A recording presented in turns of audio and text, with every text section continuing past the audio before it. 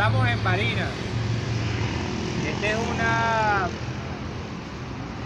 ocasión muy importante para todo el país. Es un proceso que tiene que invitar a todo el liderazgo y a toda la ciudadanía a participar. Creo que fundamentalmente lo más importante es que votemos, que participemos. La democracia necesita de la incorporación de todos, de las fuerzas vivas, de los estudiantes, de todos los ciudadanos que están hoy acá en nuestro país, por supuesto, hablando específicamente de Barinas, que es un estado tan importante.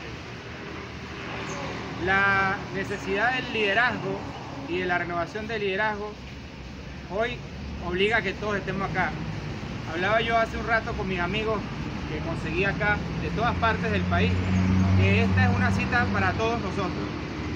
Eh, la política del país entero de Venezuela está en Barinas y estos resultados de mañana definen mucho el, el devenir y sobre todo cuál es la tendencia que va a tomar fuerza en Venezuela. Yo creo en la posibilidad de que exista una construcción de consenso, que exista un mecanismo para que vayamos desarrollando la política que hemos dejado de lado. Y la política no es más que buscar los mecanismos para el entendimiento, para el diálogo, para buscar soluciones. Quizá después del episodio de mañana se termine la discusión de quién gobierna y pasemos a cómo se gobierna.